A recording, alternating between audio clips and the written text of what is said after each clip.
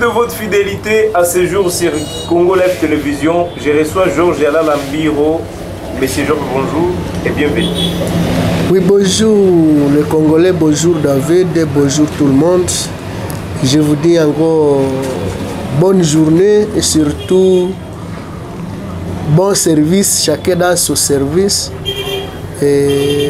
Bonjour à, aux mamans dans le cas de Boulengo, de Mugunga, de Bouchagara, dans le cas de Kanyaruchinya, de Dobosco, pourquoi pas dans le cas en ville de Beni, je sais très bien qu'il y en a aussi.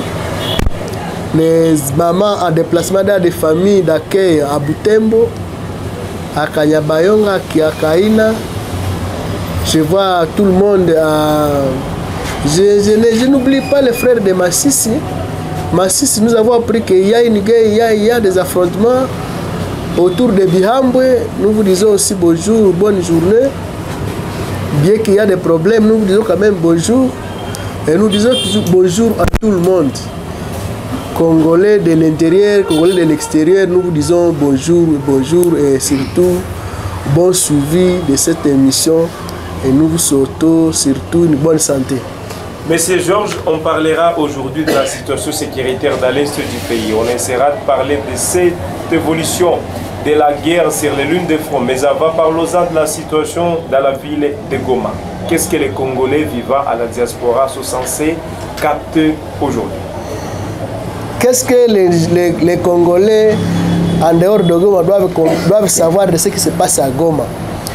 Et La ville de Goma, c'est une ville cosmopolite. Actuellement, c'est une ville qui abrite presque toutes les tribus de la République. Et c'est une bonne ville, mais cependant, c'est une ville aussi dangereuse. Là, il faut les connaître. Pendant les 30 années écoulées, la ville de Goma a été caractérisée par ce qu'on appelle insécurité grandissante. Malheureusement, même pour le moment, nous, nous sommes en train de revenir sur l'insécurité. Vous qui êtes loin de Goma, la ville de Goma est calme dans son ensemble, mais les cas de criminalité ne manquent presque pas. Et nous demandons surtout aux autorités locales, aux autorités provinciales, aux autorités nationales, d'avoir une très très grande surveillance sur la ville de Goma. Parce que c'est comme si la ville de Goma a semblé être la porte de, tous les mots qui rongent la République démocratique du Congo en matière de sécurité et défense. La ville de Goma, calme, oui, mais taux de criminalité encore un peu élevé pour le moment. Il ne se passe pas une journée sans qu'il y, qu ait crépitement de balles. Et nous nous disons, finalement, les balles que nous nous achetons pour aller chasser l'ennemi, pourquoi les crépiter chaque, nuit? Ça, c'est une question peut-être à demander aux autorités militaires. Pas plus qu'hier. Les gens tombent par les coups de balles à Turunga, à Bouéné, je sais pas, à Ndocho, à, à, à Saint-Salka. Bon, c'est pas bien. Les autorités doivent quand même aussi multiplier les efforts. D'abord, nous vous remercions de ce que vous avez toujours fait, surtout le maire de la ville a toujours déniché les, les, les bandits, mais il doit encore plus fournir des efforts. La ville de Goma, même hier, nous avons appris que un soldat de rang, garde du corps, a tiré sur son chef. Et on s'est dit, finalement, finalement, c'est quoi? Bon, ce sont des cas à décrier. Nous n'avons pas, pas, beaucoup de matière peut-être à fournir sur des cas pareils. Nous voudrions que les autorités se, multiplient encore des, efforts, se fassent encore, se, se fassent encore violence pour que le taux de criminalité quand même baisse en ville de Goma. Nous déplorons aussi peut-être certains cas, certains cas de dérapage envers les motards. Bon, les motards qui violent aussi la mesure de 18 heures et ça suit, bon, il y a, il y a dangereux, les motards se plaignent partout. Et les motards qui ne savent pas, qui ne parviennent pas aussi à respecter les tas du 18 heures et qui parviennent à être peut-être victimes aussi de la tracasserie de certains militaires et surtout, je dis certains, certains militaires non à règle avec ce qu'on appelle l'éthique, mais aussi avec certains Ouazalendou qui se déguisent aussi en militaires parce qu'on ne sait même plus les vrais Mouzalendou où est-ce qu'ils se logent et les mauvais Mouzalendou où est-ce qu'ils se trouvent. C'est aussi un problème. C'est pourquoi j'interpelle les autorités, entre autres les autorités, de, les autorités d'État de siège, de multiplier encore des efforts parce que le peuple a eu espoir dans vous, mais le peuple commence aussi à, à je dirais peut-être à, à perdre confiance. Je peux même dire un mot au chef de l'État sur ce point de Goma. C'est aussi peut-être un moment de requalifier l'état de siège. De, à passer comme ça, je peux le dire. Parce qu'on a toujours dit que quand c'est trop, ça gêne. Et quand ça, ça, ça fait très longtemps, c'est comme si on cherche aussi à se familiariser. Même les bandits commencent maintenant à, à, à dribbler même l'état de siège.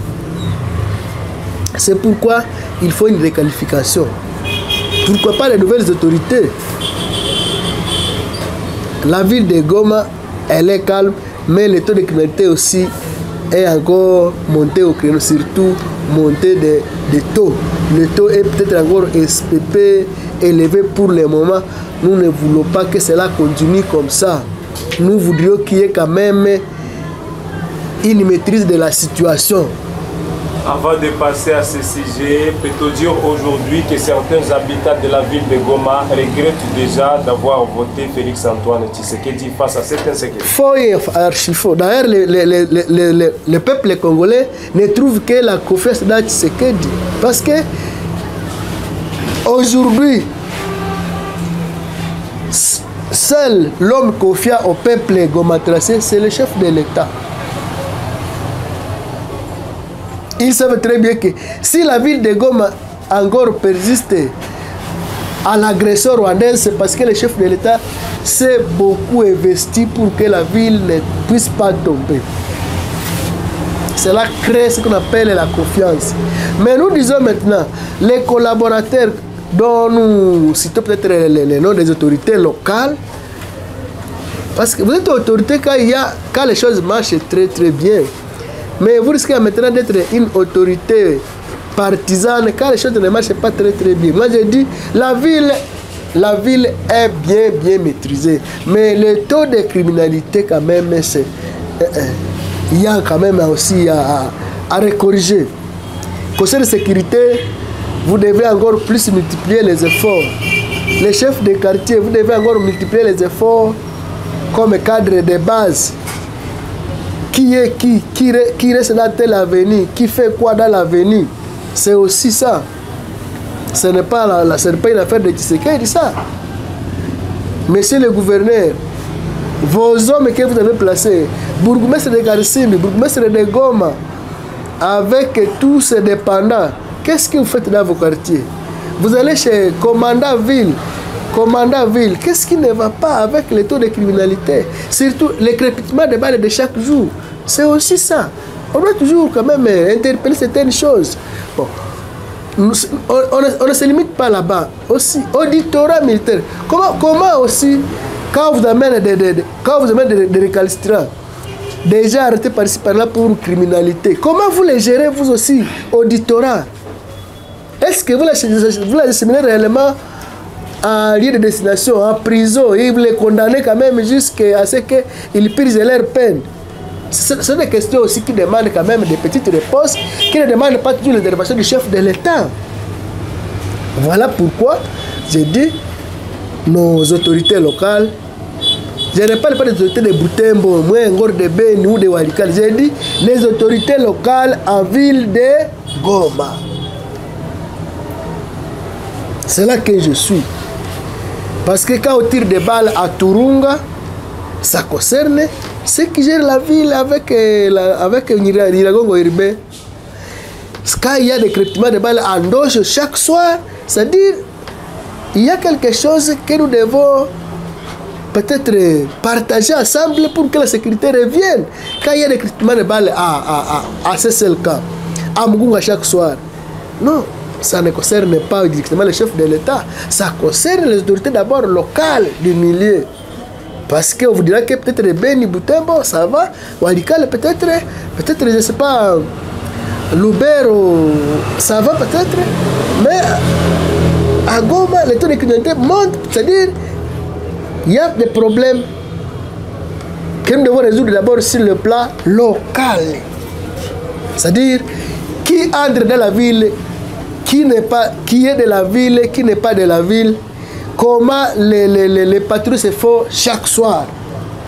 Voilà les questions qui demandent une implication purement locale. Ces massacres de personnes dans la ville de Goma qui restent à suspense deux fois et deux fois qu'on a essayé un peu d'appréhender les auteurs, cela peut-on le mettre au bilan? D'une manière négative de Félix-Antoine Tshisekedi Je dis non, je répète, j'insiste. Tshisekedi a ses missions.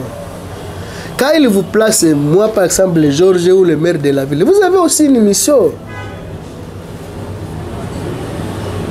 Chacun a sa mission. Et Félix Tshisekedi aujourd'hui, il se bat jour, j'ai dit jour, oui, nuit, gauche à droite, est, ouest, pour que réellement la paix la plus durable revienne. Et c'est pourquoi maintenant chacun, dans sa tâche, il doit aussi s'y mettre et surtout se convertir réellement à chef local.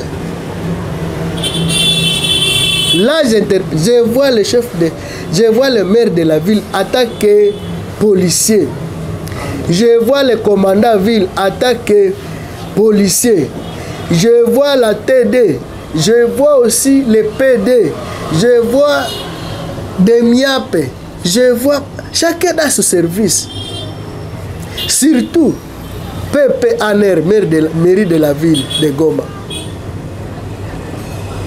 Le chef de poste, le CP là-bas. Le, le, chef de poste de, de, de, de l'ANER, de la ville de Goma. Est-ce que réellement vous renseignez bien les autorités pour qu'on on appréhende quand même les, ces gens-là qui se promènent avec les armes d'une manière irrégulière?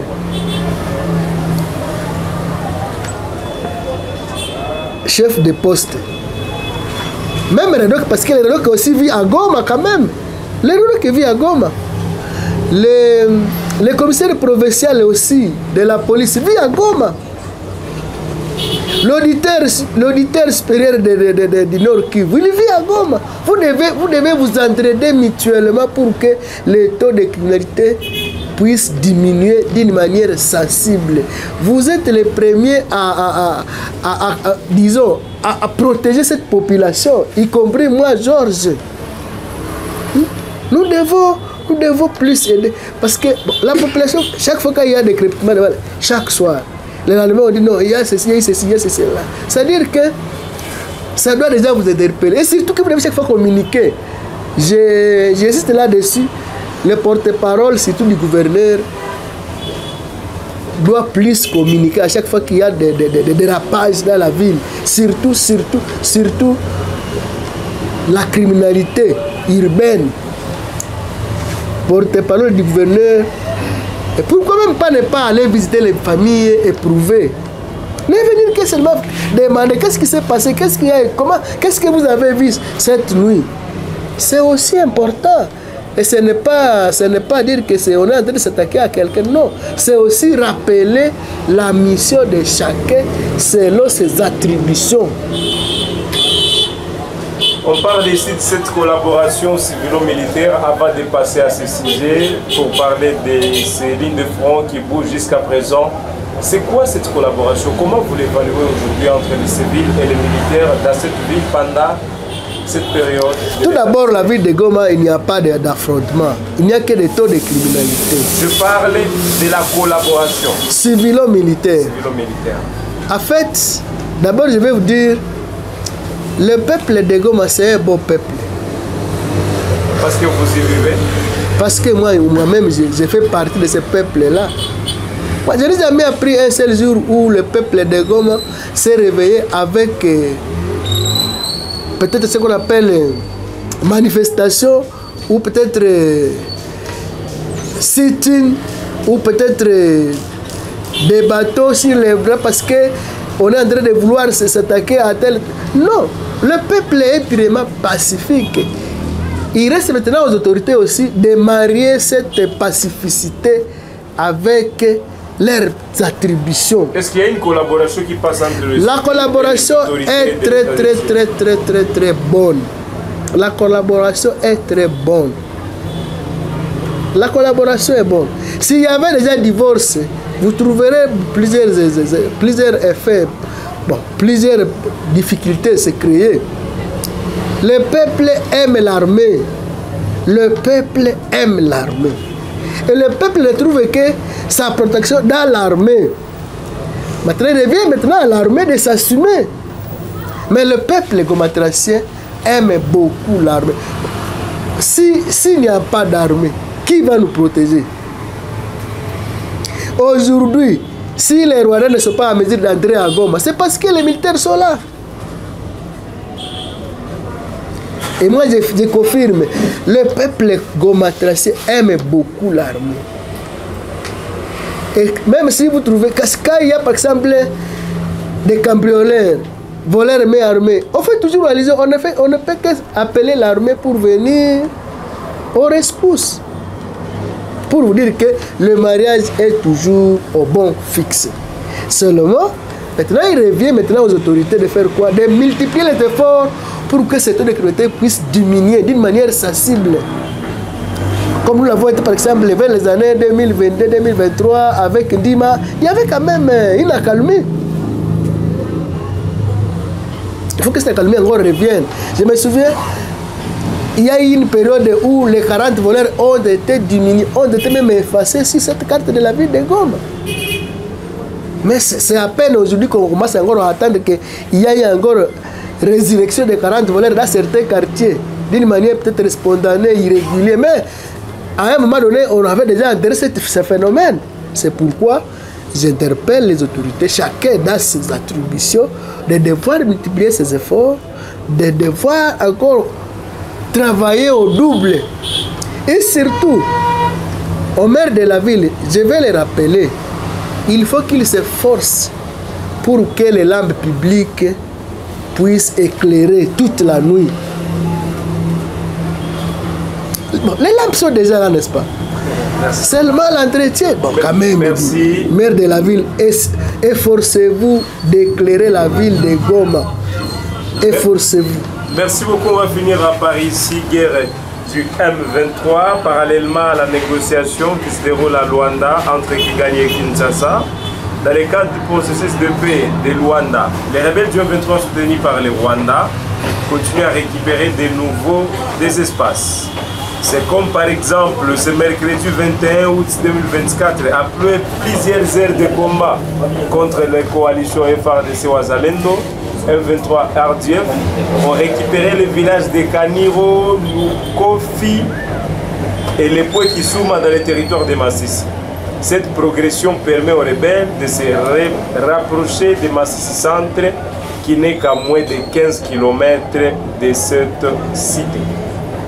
Monsieur Georges, on parle ici de ce processus de Luanda. Bon, moi je pense que je l'ai toujours dit, je le répète. Pardon, Les M23 ne respecteront jamais leurs engagements. c'est ce que tu les laisses partir comme ça? C'est pas Tshisekedi qui les laisse partir. Quand vous évoquez le nom de Tshisekedi dans toute affaire, je, je suis mal à l'aise. Parce qu'il il n'est pas aussi à Massis, c'est les lignes de front. Et il n'est pas, il n'est même pas le commandant des Il est le commandant suprême. Oui. Il est le commandant C'est suprême. comme, c'est comme par exemple quand ton enfant commet une faute, tu commences déjà à dire que c'est Dieu qui a, qui a laissé à ce que l'enfant commet une erreur. Dieu est suprême. Et maintenant, toi, le commandant local, c'est toi le parent, non? Ma dernière question, monsieur Quand vous parlez de- de- de ma- ma- Félix, ma dernière je suis question, épais. ouais, ma dernière Non, non, non, question non. face à Mm. cela, parce que ce sont des villages qui tombent du jour au lendemain. Oui, oui, oui. Il nous a fait savoir l'autre fois qu'il ne dormait pas à ce sujet. Est-ce que nous avons raison et et- croire à Tshisekedi aujourd'hui? Nous avons totalement raison de croire au fils de l'imité. Pendant que le village tombe, on ne s'inquiète pas. Non, qui vous dit qu'on ne se guette pas? Et pourquoi maintenant les pourparlers de Luanda? On voudrait clôturer cette question une bonne fois pour toutes et que ça ne revienne plus dans le futur. C'est pourquoi vous trouvez Kagame ne sait même plus comment tenir. Il est, tantôt il est à Luanda, tantôt il est sur le micro. C'est-à-dire que déjà il est coincé par la politique dynamique de Tshisekedi. Et Kalamingite, la paix va revenir. Durant les six ans qu'il est président de la République en RDC, c'est quoi, comme on peut dire, réalisation de Tshisekedi? Il y en a des dans, l'est du pays, je précise Il y, en a, il y en a des Dans l'est de la RDC. D'abord, au moins trois. d'abord, nous, à l'est du pays, nous, surtout nous de Goma, moi, je dis, nous, nous du Nord Kivu, ni était l'avènement de Tshisekedi au pouvoir, toutes les communautés du Nord Kivu seraient déjà au moins embrasées par ce qu'on appelle la guerre civile. Vous avez remarqué que Tshisekedi, quand il est arrivé, il y avait les Bahutus qui ne ne s'entendaient pas avec les Walande. Les, les je sais pas, avec les Bahutus. Les Wanyanga, pas... Il y avait déjà ces rivalités-là. Avec lui, tout le monde a compris que non, L'ennemi n'est pas seulement ses voisins. L'ennemi, c'est le Rwanda. Il l'a dit ouvertement. Et de ce fait, il a même transformé les groupes armés d'hier à Ouazalend aujourd'hui. C'est une très grande réalisation de la province du Nord Kivu. Pour ceux qui ne connaissent pas le Nord Kivu. Même les notables vont quand même m'appuyer sur ce point-là. Même David qui est avec moi. des- Maintenant, des- des à part ça, à part ça, sur le plan par exemple matériel, nos enfants de Nord Kivu étudient gratuitement Oh, aujourd'hui. Jésus, on revient. Oui. Ça, c'est- Aujourd'hui, aujourd'hui, couverture santé universelle. Nos mamans accouchent gratuitement. Eh mon frère David, vous ne voulez pas même comprendre ces petites choses. Aujourd'hui, dans les territoires de Beni, même de, même de Ruchuru, de, Walikale, programme 55 territoires, allez-y. Vous allez voir des bâtiments déjà érigés et équipés. Et vous, vous voulez, même si vous ne voulez pas de Félix, aimez quand même ses œuvres. Merci beaucoup, mesdames et messieurs. C'est donc la fin de cet entretien. Oui. Nous acceptons que nous finissons par là et nous disons merci à Monsieur Georges. On se fixe un nouveau rendez-vous à demain pour d'autres actualités. C'est moi qui vous remercie, David.